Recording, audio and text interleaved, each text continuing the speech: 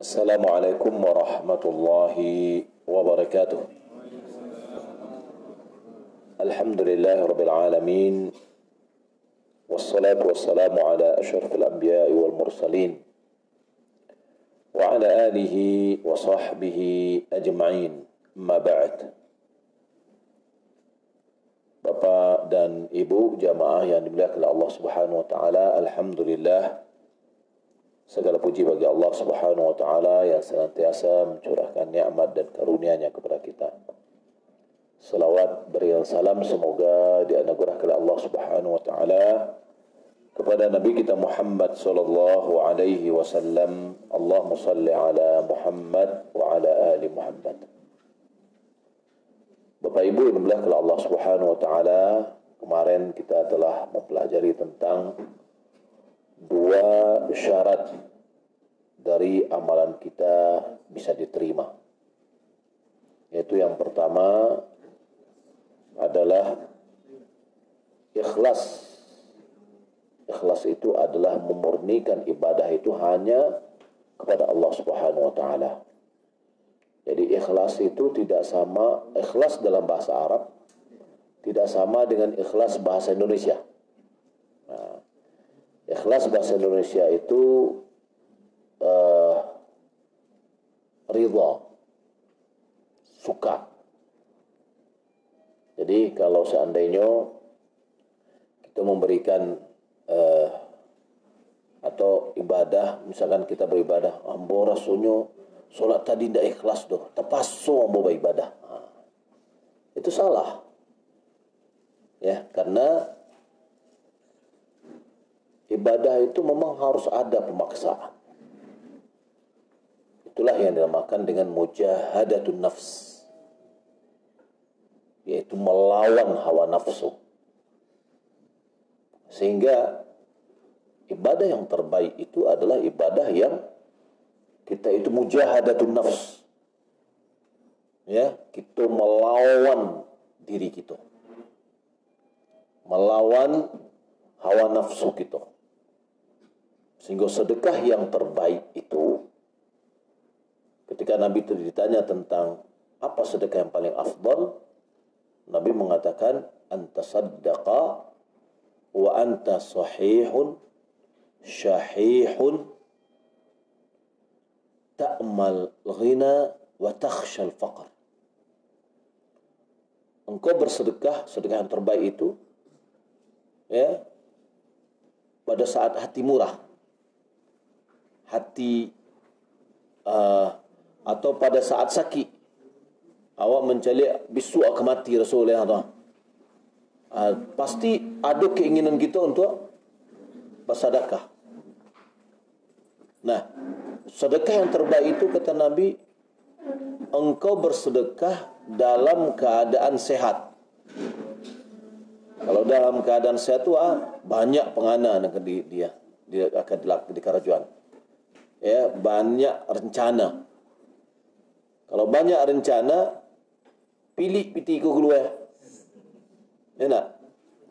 An, an, anda sehat setelah itu syahih syahih itu rakus tomak orang yang tomak itu gampang tidak mengeluarkan uang enggak sehat tomak setelah itu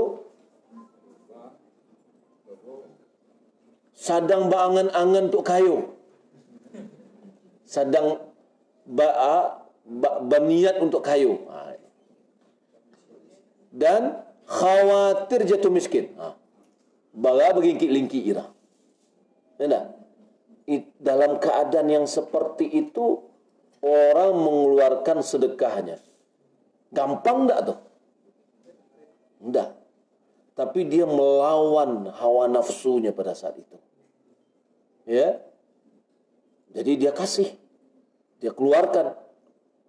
Berarti di situ ikhlasnya nyupasuan dirinya ketika dia memberikan itu karena Allah itu namanya ikhlas. Ikhlas menurut menurut agak menurut bahasa Arab murni. Yaitu murni untuk Allah. Tidak untuk yang lain-lain. Tapi hanya yang diharapkan sebagaimana kita sebutkan patang ya barometer keikhlasan itu innama nut'imukum liwajhillah la nuridu minkum jazaan wala wala syukura. Itu yang namanya ikhlas. Ya, contoh yang lain. Orang sholat malam. Tajagonya malam. Apa kira-kira? Salimu atau ke sholat? Salimu atau sholat? Salimu atau sholat? Ya. Babu. Itu bahasa ambu kalau lah kalau bahasa kalau ke bahasa mudi mu keluar. ah, peten. Pet ke ah, peten pinia. Ah, ken kania. Eh, terkadang kita pasukan, yulah amui solat, nah, gitu. Tapi ada rasa di situ, ada rasa kita paksakan diri kita. Ya, itu ikhlas atau tidak ikhlas? Ikhlas apabila kita sholat memang kita tuju untuk Allah. Tapi ada orang yang senang dia bangun sholat malam, senang. Tapi untuk selfie. Malam kan, tek. Dua indahnya berkhulwah dengan Allah tengah malam. Ha. Itu ikhlas atau tidak ikhlas? Walaupun dengan senang hatinya mengarajuan, tapi nyo mengharapkan uh, like orang nih. Uh, gimana nih pujian orang itu enggak ikhlas. Jadi di sini tahulah awak beda ikhlas berbahasa Indonesia, ikhlas dalam bahasa Arab. Nah, dalam agama kita ya ikhlas tadi itu adalah murni untuk Allah gitu. Walaupun ada unsur kayak, kayak tadi sebut kecil. Dia tapasu ambo magi piti ke ulang wal. Kasihan bunyo tika inyo tadi. Jadi tapasu mau magi. Apakah itu ikhlas atau tidak? Ikhlas. Karena dia karena Allah dia memberi. Bukan karena dipuji oleh orang. Dia lihat orang ini sangat butuh sekali. Ya. Tidak untuk dipuji. Nah, jadi itulah yang dimakan perbedaan Nyo bahasonyo asalnya bahasa Arab. Tapi dipakai di orang Indonesia indak sesuai dengan yang dilataan di orang Arab untuk ah bahasa itu. Ah gitu. Ya. Baik. Bapak Ibu kalau Allah Subhanahu wa taala. Kita yang kita kaji adalah tentang sunnah. Apa keutamaan sunnah dan mungkin ini akan beberapa kali pertemuan sehingga kita betul-betul tahu. Karena kajian-kajian seperti ini di masjid-masjid jarang. Malahan sering kita mendengar bahwa antara sunnah dengan sunat. Ya, antara sunnah dengan sunat. Baik. Keutamaan kita berpegang dengan sunnah, keutamaannya yang pertama itu adalah perintah dari Allah. Apa kata Allah Subhanahu wa taala? Ya ayyuhalladzina amanu atii'u Allah wa atii'ur rasul wa ulil amri minkum.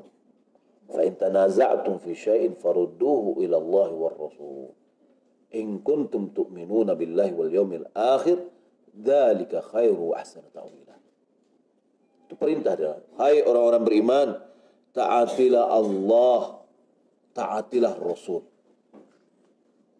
Berarti berpegang dengan sunnah itu adalah perintah dari Allah. Ayat yang kedua yang mengatakan wa ma atakumur rasulu fakhuduhu. Apa yang dibawa oleh Rasul ambil. Perintah. Ambillah wa ma nahakum anhu fantahu. Apa yang Rasul larang kalian tinggalkan. Malahan Allah mengkaitkan keimanan dengan penerimaan kita terhadap keputusan Rasul. Allah mengatakan fala wa rabbika la yu'minun. Demi Rabbmu mereka tidak beriman. Sampai kapan mereka beriman? Hatta yuhakkimuka fima syajara bainahum. Sampai mereka menjadikanmu hakim ya, hakim itu untuk apa nih untuk penengah. Apa pun permasalahan merujuklah ke situ balik. Ya kembali kita kepada sunnah.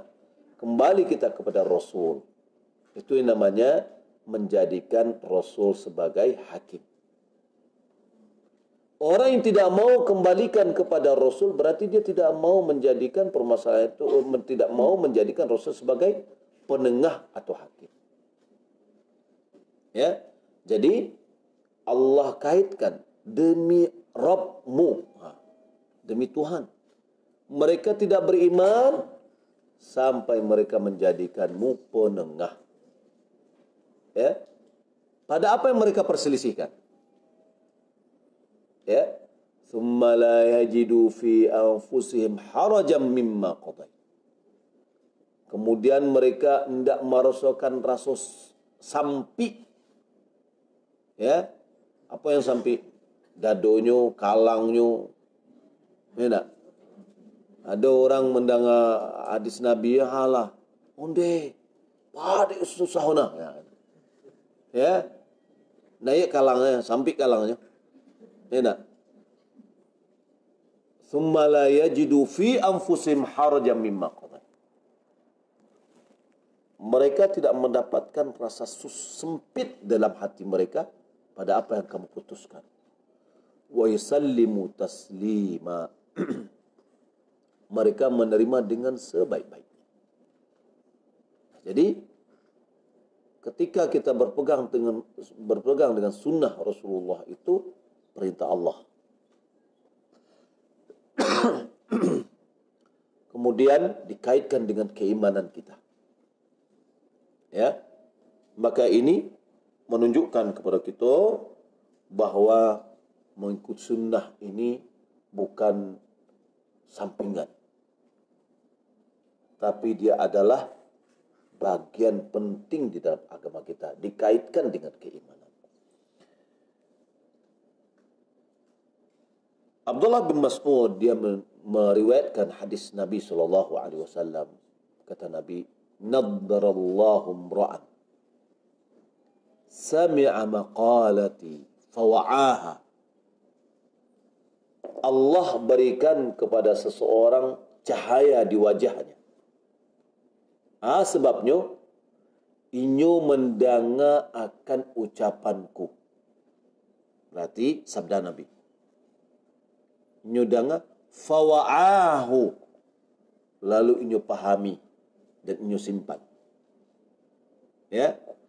Fa'addaha wa fawa'aha wa hafidhaha dia pahami, dia hafalkan, waballagha dia sampaikan. Apa yang didapatkannya? Diberikan cahaya di wajahnya. Karena dia mendengar sabda Nabi, dia pahami, lalu dia hafalkan, lalu dia sampaikan kepada orang lain.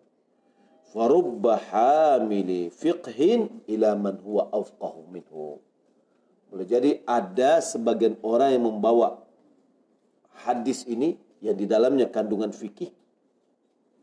Dia menyampaikan kepada orang yang lebih paham darinya. Ya. Karena bermacam-macam potensi dari manusia itu. Hadis ini menunjukkan akan keutamaan kita mempelajari sunnah Rasulullah SAW.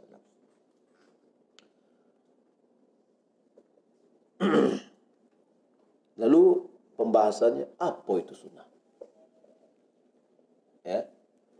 Sunnah kalau dibawa ke secara bahasa itu balik kepada tradisi. Tradisi bila dikatakan tradisi apabila inilah menjadi kebiasaan. Ya.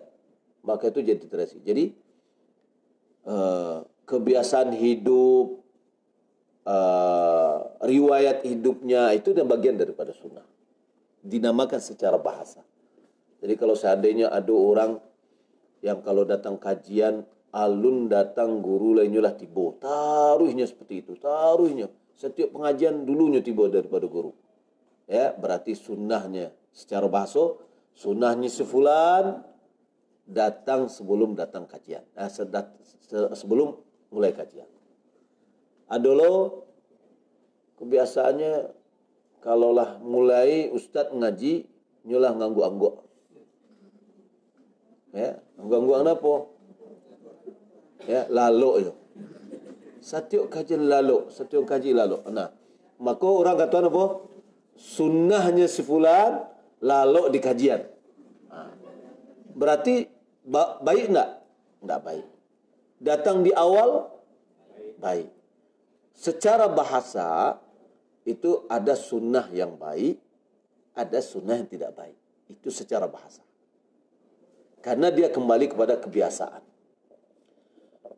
tapi kalau seandainya agama kita mengatakan sunnah, ikut sunnah kok. Apa maknanya? Itu kembali kepada makna istilah. Maka ulama pun dari fak-fak keilmuannya ya berbeda mereka. Ulama hadis yang nyocale itu betul-betul jati diri Rasulullah kok yang dikajinya. Maka yang menjadi pusat pembahasannya sunnahnya itu adalah setiap yang disandarkan kepada Nabi, baik itu perkataan atau perbuatan atau takrir atau sifat.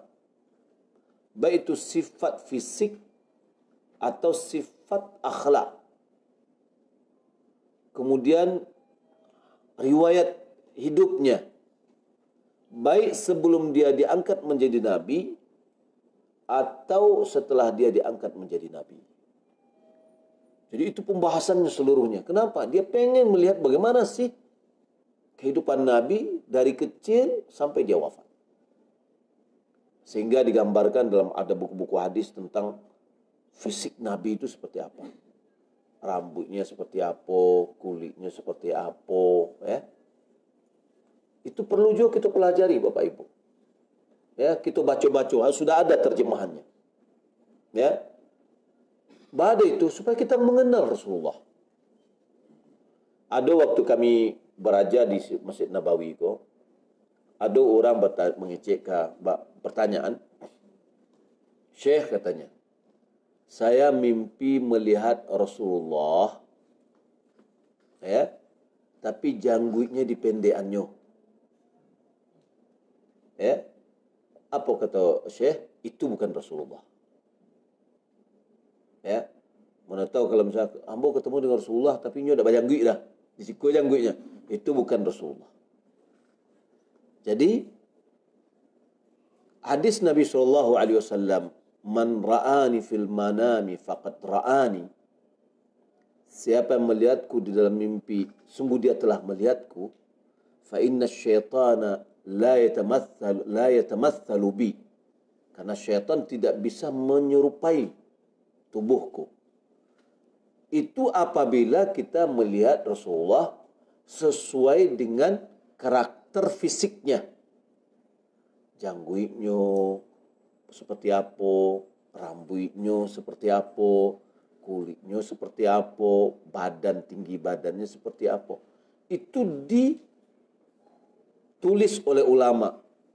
Ya, hadis-hadis gambaran yang digambarkan oleh para sahabat tentang diri Rasulullah secara fisiknya.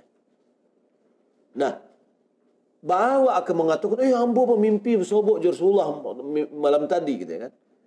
Apa ya batu atau tidak? Ya. Bah bisa kita mengatakan kita ketemu bahwasanya yang kita jumpai itu adalah Rasulullah apabila orang yang kita lihat dalam mimpi kita itu bersis kriterianya seperti sifat-sifat Rasulullah secara fisik. Kalau ya batunya seperti itu, berarti itu adalah Rasulullah. Ya, yang dia lihat betul-betul.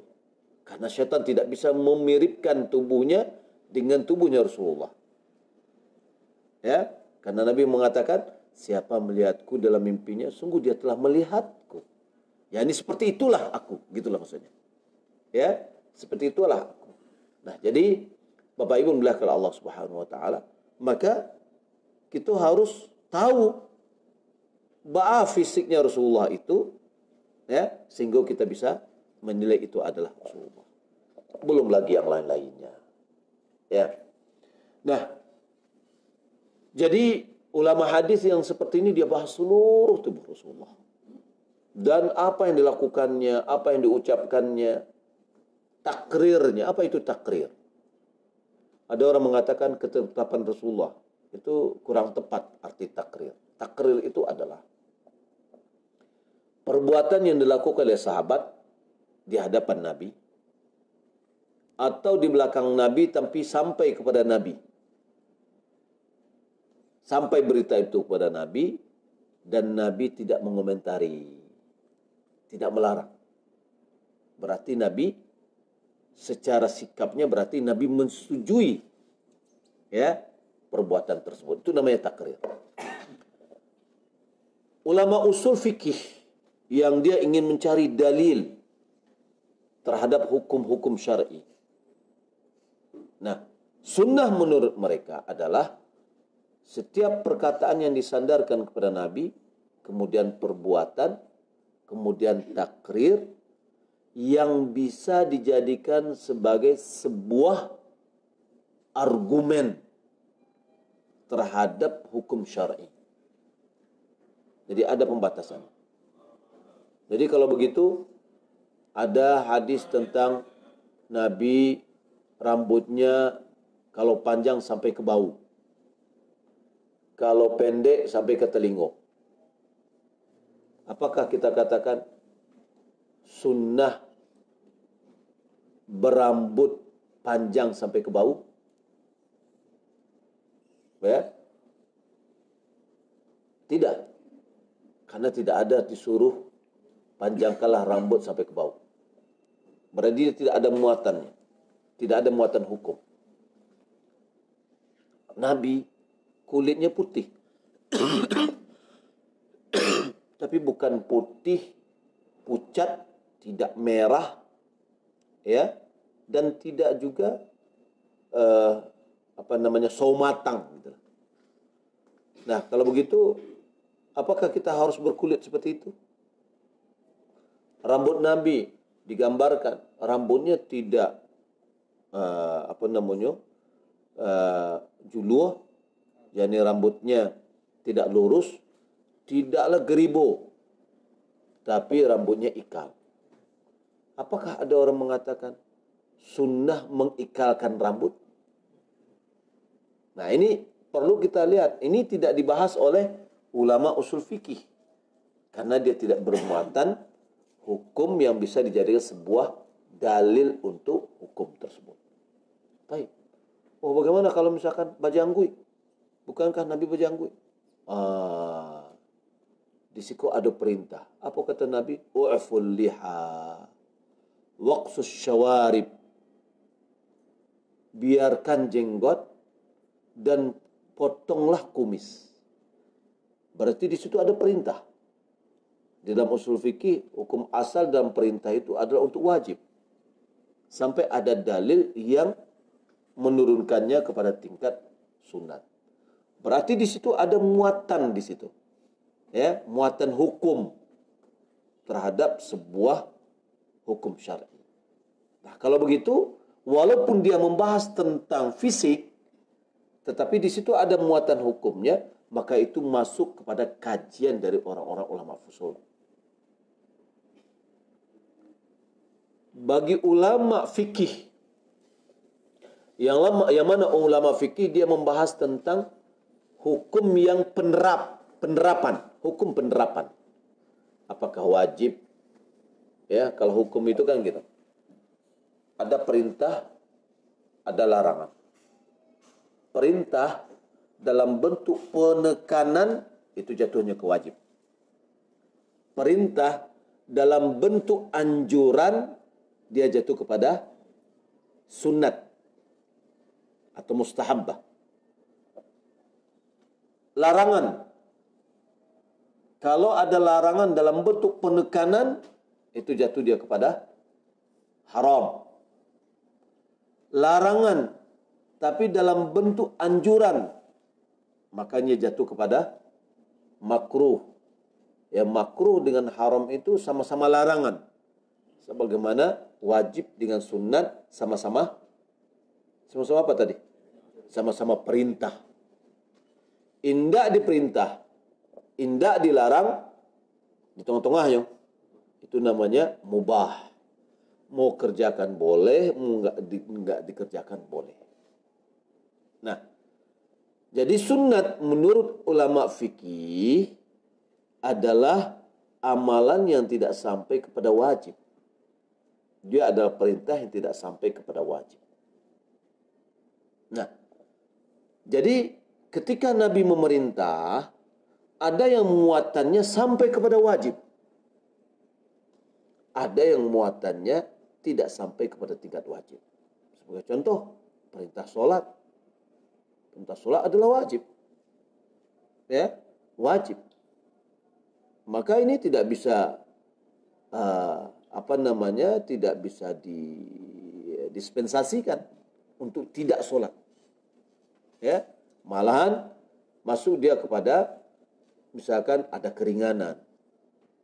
Nah, kemudian seperti keringannya bagaimana?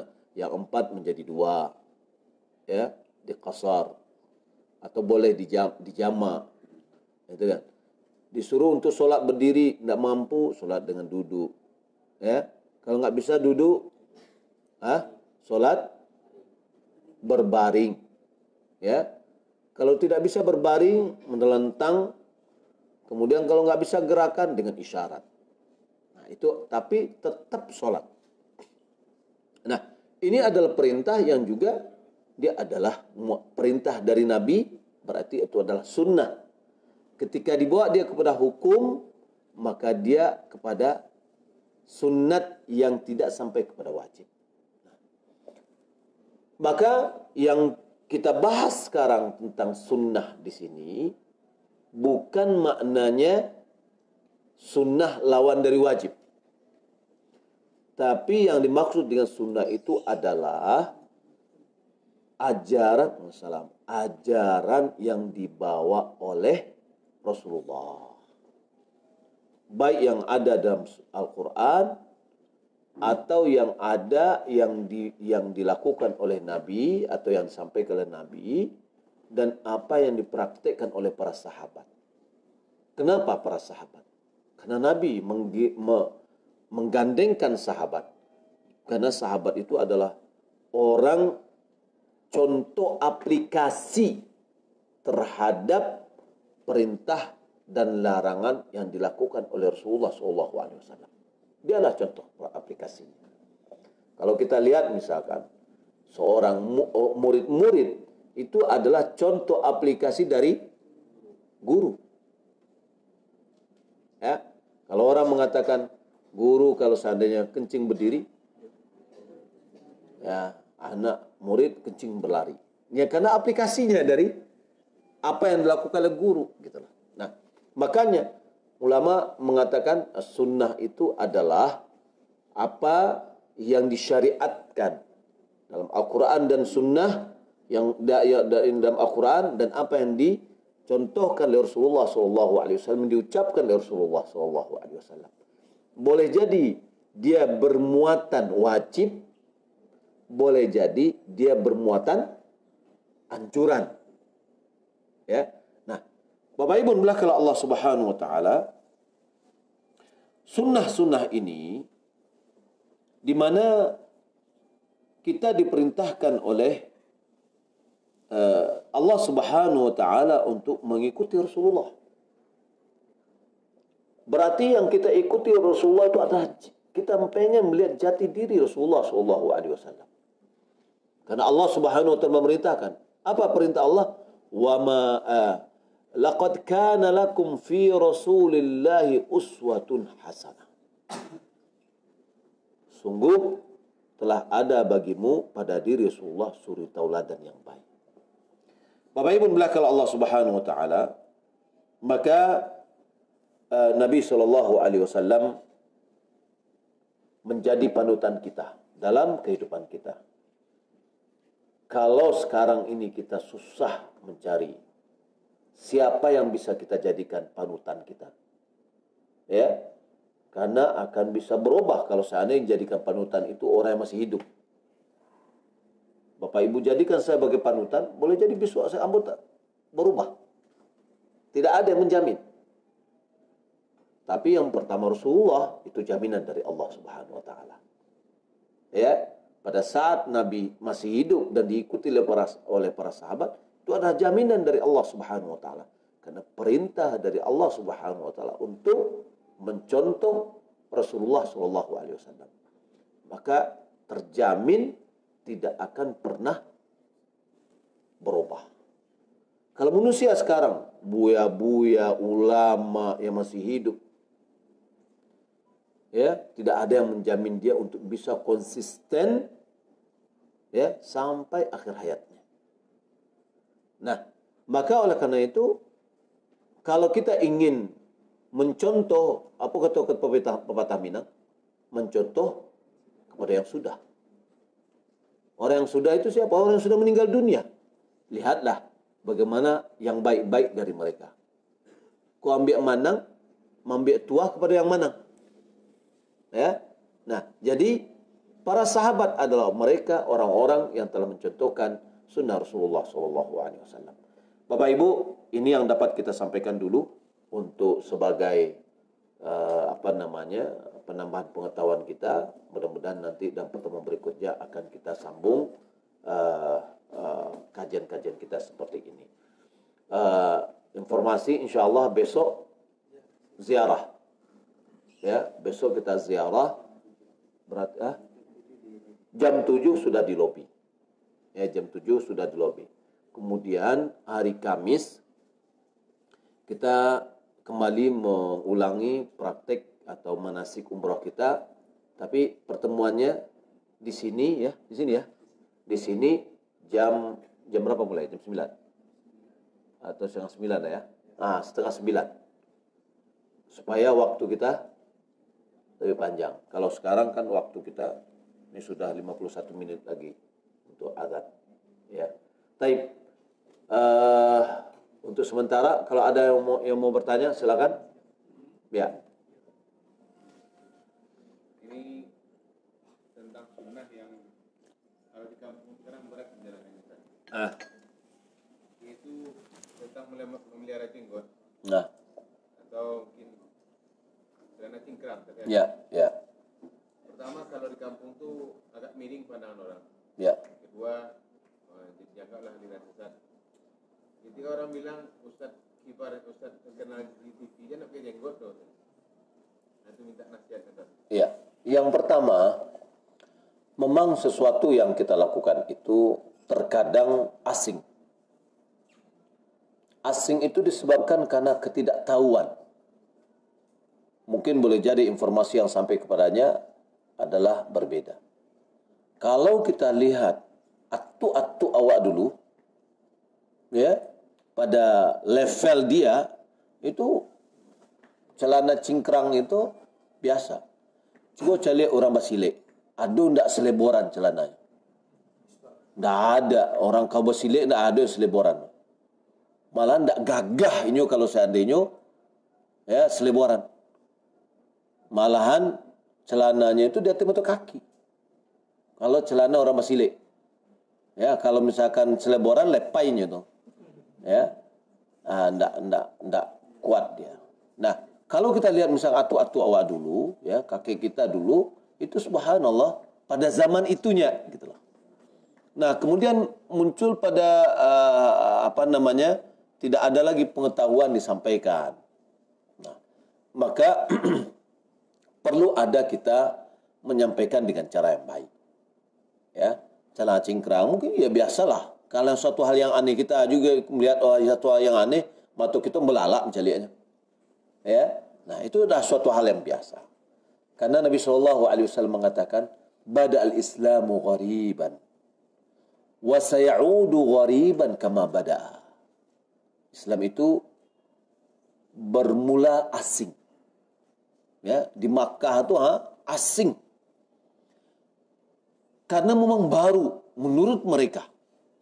Baru. Lalu wasayudu ghariban kama.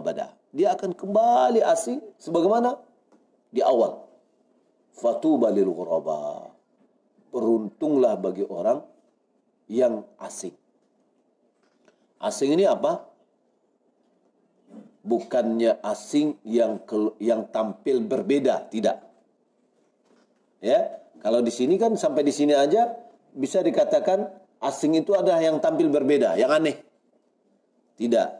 Kata Nabi SAW, yang ghuraba itu adalah, yang asing itu adalah alladzina yuslihun alladzina yasluhun inda fasadin nas adalah orang-orang yang baik ketika manusia rusak dalam riwayat yang lain kata alladzina yuslihun yasluhun berarti orang-orang yang soleh orang-orang yang baik di tengah-tengah manusia yang rusak yang kedua yuslihun yaitu memperbaiki pada saat orang rusak jadi barometer ghurabanya adalah atas kebenaran, bukan atas keganjilan. Ya, sebab ada orang suku melawan arus. Ya, orang uh, kemudiannya nyukai lihat supaya berbeda aja orang. Enggak, itu bukan ghuraba itu yang diinginkan gitu. Yang maksud ghuraba itu adalah adalah orang yang baik, yang benar di atas kebenaran pada saat manusia sudah mulai meninggalkan kebenaran itu. Maka di sini diuji kita. Lalu bagaimana cara ya pendekatan, pendekatan. Ya. Kalau misalkan cuma masyarakat kita ya pandai dan bapandai-pandai. Ya, itu harus tuh. Pandai dan bapandai-pandai. Kemudian kalau kita mengecek ya kato ampe katanya kato menginginkan itu harus ada ketika kita bicara dengan orang yang tua, ketika kita bicara dengan se, se, sejawat dan yang lainnya itu ya harus dibahasakan dengan bahasa yang mudah dan uh, uh, gampang dipahami. Wallahu taala alam. Nah, jadi kalau ketika yang kondisi-kondisi yang seperti ini sebenarnya tidak perlu kita meng, me, me, apa namanya mengedukasi dulu baru kita melakukan tidak ya yang perlu ada menghidupkan sunnah diedukasi dulu baru kita menghidupkan adalah yaitu sunnah-sunnah yang sudah tenggelam yang pengen kita menghidupkan kembali maka hendaklah kita edukasi dulu masyarakat setelah itu baru kita melakukan ya contoh dan perubahan wallahu a'lam Baik, Ah, silakan. Ini kebiasaan. Anu, saya ibu-ibu siapa yang mau mau tanya? Ya, silakan. Assalamualaikum warahmatullahi wabarakatuh.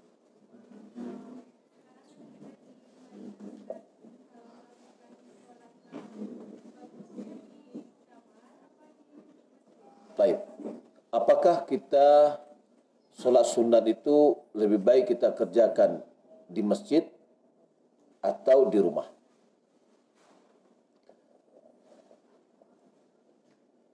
Kalau kita lihat kepada dalil-dalil bahwa Nabi sendiri yang mengatakan bahwa uh,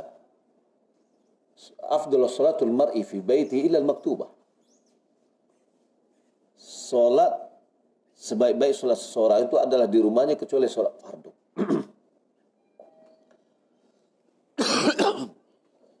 Akan tetapi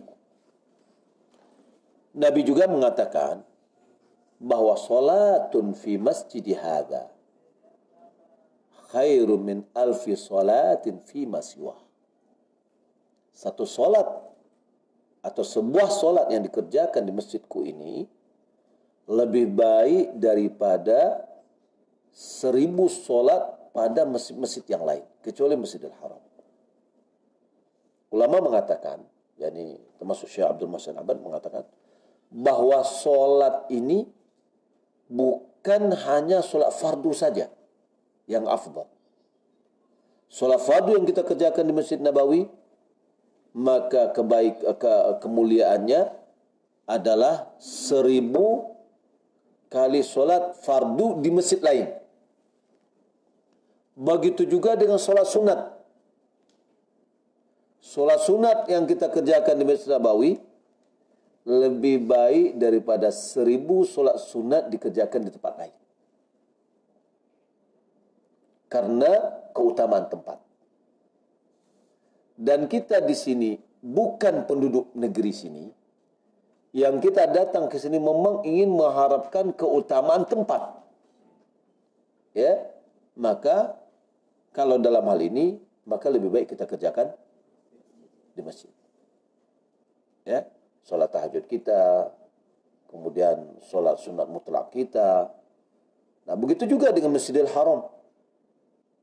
Masjidil Haram adalah seratus ribu kali.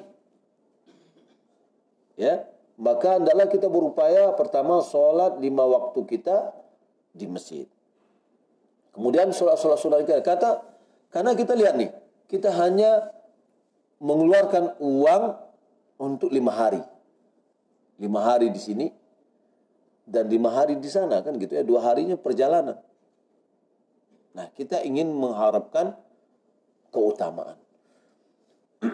Amalan kita dilipat gandakan pahalanya itu ada lima sebab. Di antaranya pertama adalah kemuliaan tempat. Nah, untuk di kota Madinah kemuliaan tempatnya hanya di Masjid Nabawi. Ya. Adapun untuk di Masjidil Haram terjadi perbedaan ulama dalam masalah apakah yang dimaksud itu adalah Masjid Ka'bah atau masjid-masjid yang ada di tanah haram. Yang diartikan dengan Masjidil Haram itu apakah masjid yang ada Ka'bahnya atau masjid yang ada di tanah haram.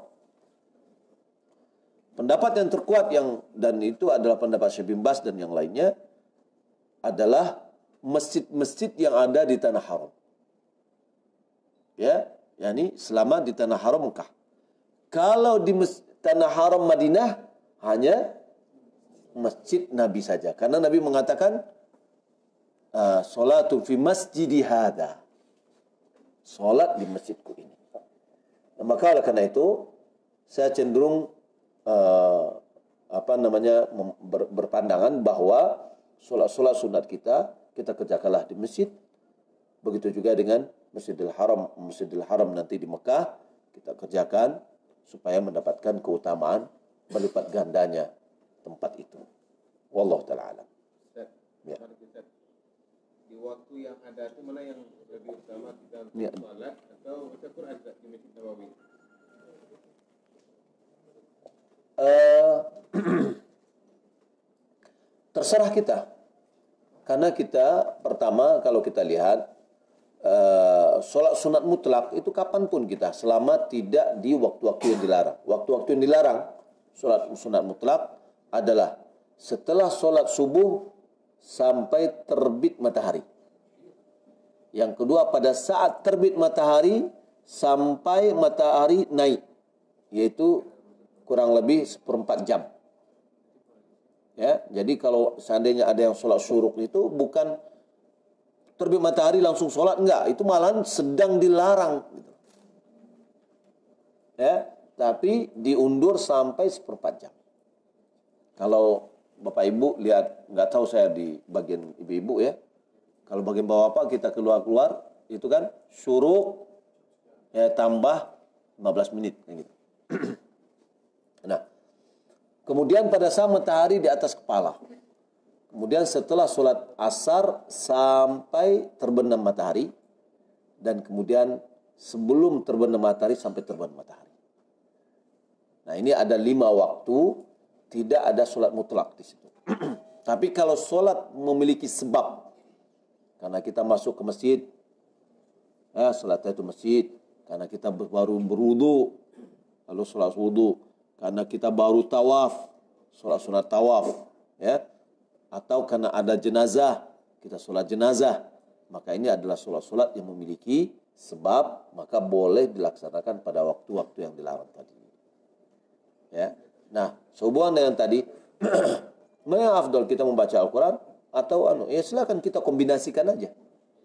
Ya, kita kalau misalkan anu tadi solat yang lebih afdol eh, dilipat gandakan gitu ya. Kita bisa kombinasikan. Uh, mau baca Al-Quran, kemudian pengen dirubah dengan sholat dua rakaat, sholat dua rakaat, kemudian seterusnya. Baik. Ya, silakan.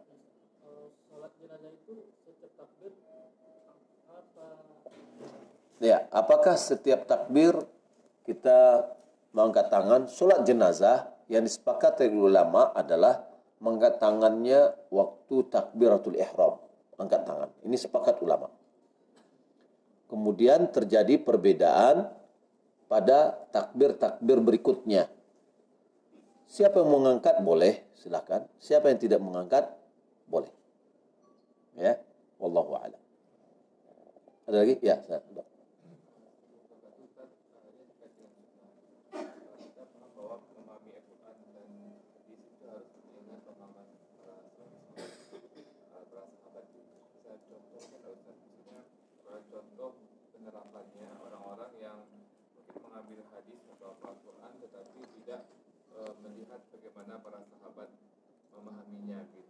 Ya. Ini contohnya seperti apa? Dan apakah hmm, maksudnya yang yang lain begitu uh, kajian yang tidak membahas uh, sunnah seperti ini, mereka memang tidak melihat mungkin apa hadis-hadis yang dari para sahabat atau bagaimana gitu? Ya. Ya, barakallahu. Ya, yang pertama ada orang yang mengambil dalil itu secara zahirnya saja. Saya berikanlah contoh tentang uh, umrah dari Tanim. Ada orang berulang-ulang umrah sekali, dua kali, tiga kali. Sehingga jamaah mengatakan kalau selatur umrahnya berapa kali? Kita katakan umrahnya sekali aja. Ya. Oh kok sekali travel lain bisa dua kali, tiga kali, empat kali, lima kali. Ya. Jadi kita lihat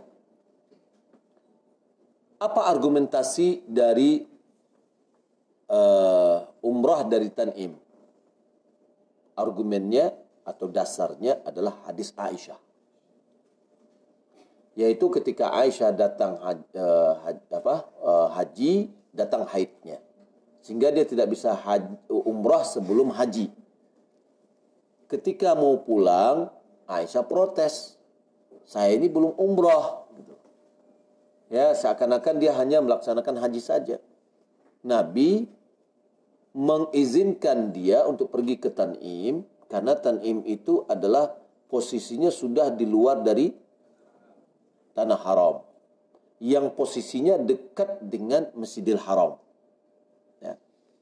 Lalu dibantu atau ditemanin oleh adik, eh, keabangnya Abdurrahman. Nah, di sini kita melihat apakah perintah Nabi ini dipahami untuk Aisyah saja atau dipahami untuk semua orang? Nah, di sini perlu kita bagaimana sahabat menyikapi. Khususnya adalah Abdurrahman pada saat itu. Ya, Abdurrahman menemani adiknya. Lalu pergi ke dari Tanim ke Masjidil Haram. Dia tidak berihram dia tidak umroh lagi. Kan di situ kan bisa dikatakan, oh sayang mana. Kan ini keraju itu ya ke kerajuannya itu. Ah, gitu. Nah, di sini dia memahami bahwasannya khitab pembicaraannya dalam perintah ini hanya khusus untuk Aisyah. Kalau seandainya dipahami oleh Abdurrahman adalah ini terbuka lebar, tentu Abdurrahman sudah melakukan umrah. Kalau itu yang dilakukan oleh Abdurrahman, lalu Nabi membiarkan, berarti boleh kita berkali-kali. Karena Abdurrahman melakukan dan Nabi menyetujui, kan gitu ya. Nah, tapi pada anu sebenarnya Abdurrahman tidak melakukan. Nah, kenapa? Karena Abdurrahman pahamnya ini adalah perintah atau apa namanya uh, syariatnya adalah untuk Aisyah saja. Nah, maka ulama mengatakan ini adalah kasus untuk Aisyah dan orang-orang yang seperti Aisyah. Kalau seandainya ada ibu-ibu sebelum datang haji, dia berangkat untuk melaksanakan haji, tahunya dia haid sehingga tidak sempat untuk umrah dulu. Setelah haji boleh dia umrah dari Tan'im. Dalilnya apa? Adalah perbuatan Aisyah. Loh bagaimana dengan orang sekarang ini banyak? Nah, kayak tadi.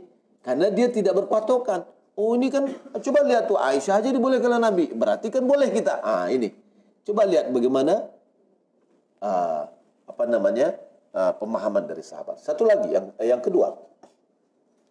Nabi ketika ditanya, kenapa dia puasa hari Senin Kamis? Hari Senin kenapa dia puasa? Nabi menjawab, pada hari itu saya dilahirkan, pada hari itu diturunkan kepadaku. Ya.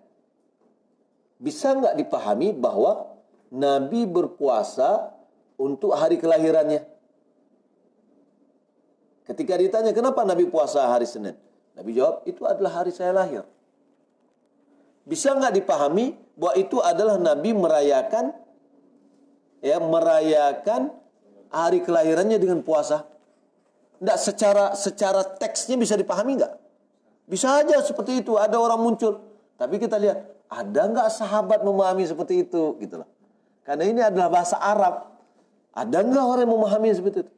Kalau seandainya muncul sekarang pemahaman, coba lihat nih dalilnya. Oh saya lahir hari Minggu, saya maka saya puasa khusus untuk hari Minggu setiap hari Minggu.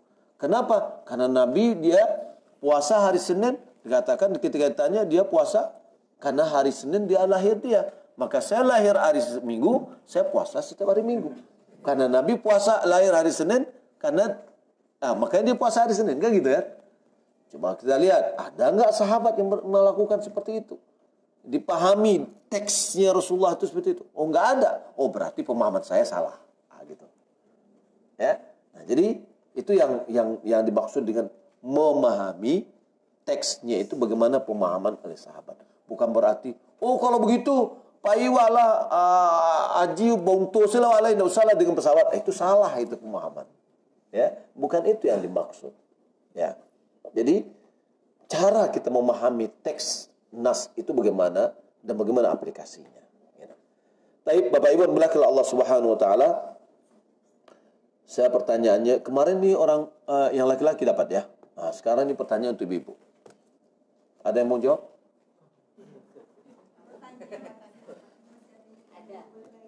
Hah? Ada yang mau jawab? Taib. Apa ayat yang saya bacakan tadi tentang sunnah atau perintah mengikuti sunnah? Ah, silakan.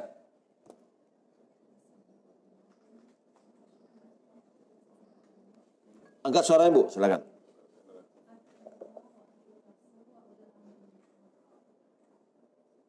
Sampai di situ.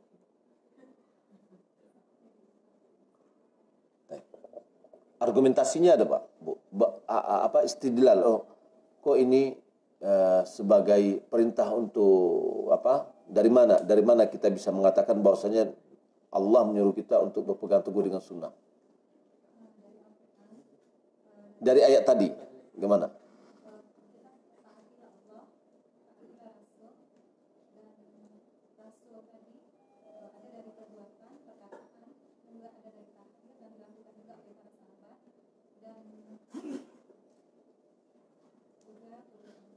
Oke, okay.